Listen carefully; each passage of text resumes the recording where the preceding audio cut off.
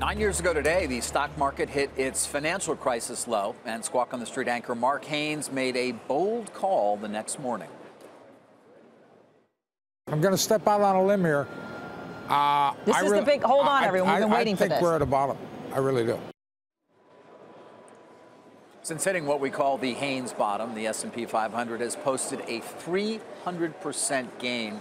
And it's funny, Jim and Scott, when you go back to that day, and we all remember it well. I mean, where it was 666, something like that yeah, the S&P.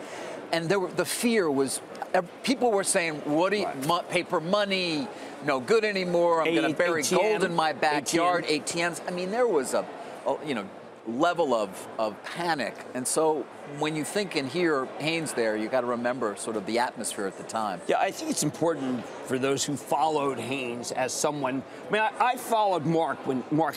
About my first meeting with Mark was when I sent him a blistering email about a call that he had made, uh, and, and, and, of course he was right. Uh, he wasn't a market prognosticator like you. I no, mean. but what happened is that's exactly the point. There was then a prolonged period where he made no prognostications. I mean, literally just stopped.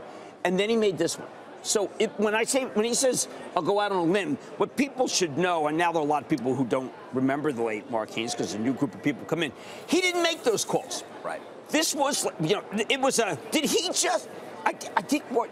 Did Mark? I, I, I mean, it was like that.